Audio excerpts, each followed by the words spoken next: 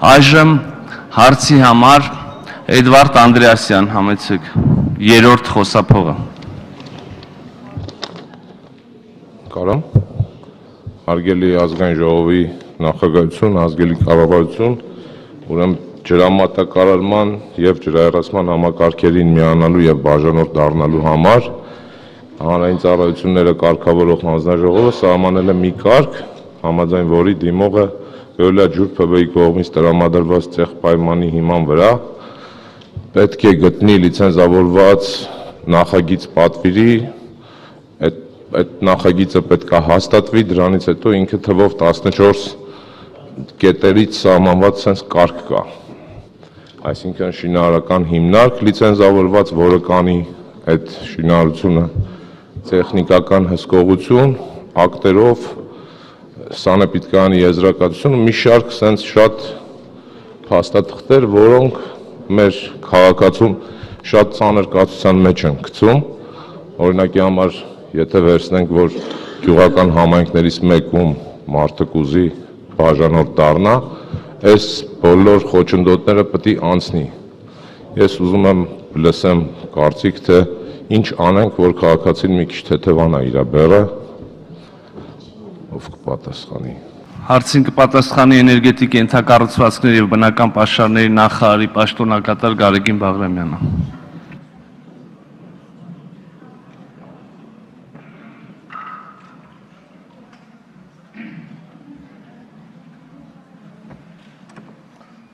Շնորհակալություն հարցի համար, պարոն Անդրեասյան։ Հարցի մինչ հարցին անդրադառնալը նշեմ, որ այդ կարգավորումը հիմնականում նպատակ է ունեցել, որպեսզի ինստիտուցիոնալ այդ հարցը լուծվի ամբողջ ջրամատակարարման եւ ջրահեռացման համակարգում, այսինքն այսուհետ մենք ունենանք միայն այնպիսի համակարգ, որ կշահագործի միայն Վիոլա ընկերությունը, այսինքն ցանկացած վթարի եւ հետագա խնդիրների համար ինքը կլինի եւ պատասխանատու այդ համակարգի համար եւ նաեւ բոլոր շահագործումը կիրականացնի եւ բնականաբար նաեւ հաշվառման համակարգերը տեղադրվում են այդ գյուղացիների կամ բնակիչների սեփականության անմիջապես պատիկում եւ ճիշտ է կբարձրացնում հարցը որ նման խնդիրներ առաջացել էր լիցենզավորված անձանց ներգրավելու հետ կապված, բայց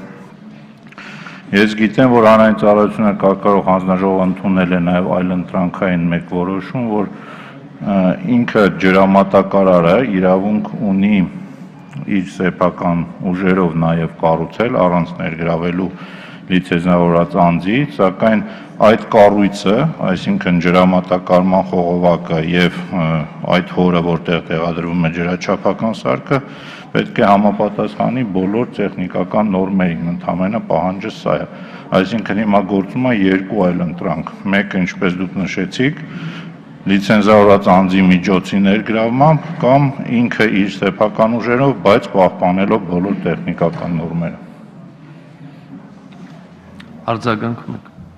Ես նկատի ունեմ, որ շատ մեծ գումար է կազմում հենց օրինակի համար 6-ից 10 մետր խողովակ, երբ որ մարդը ուզում է իր տուն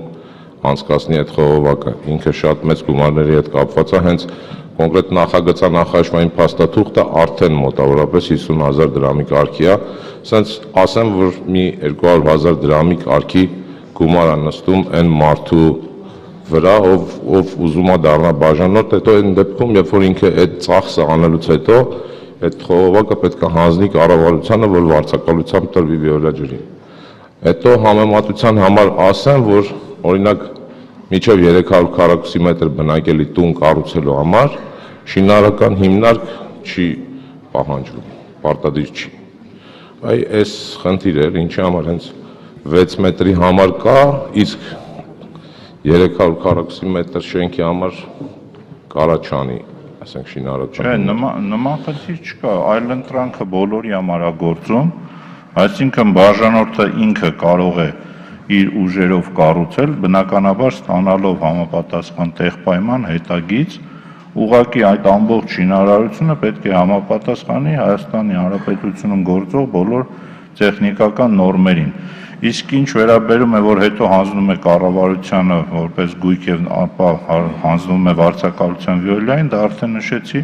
դրա հիմնական նպատակն այն է, որ հետագա շահագործումը իրականացնի վիոլա ընկերություն, այսինքն հետագա ցանկացած վթար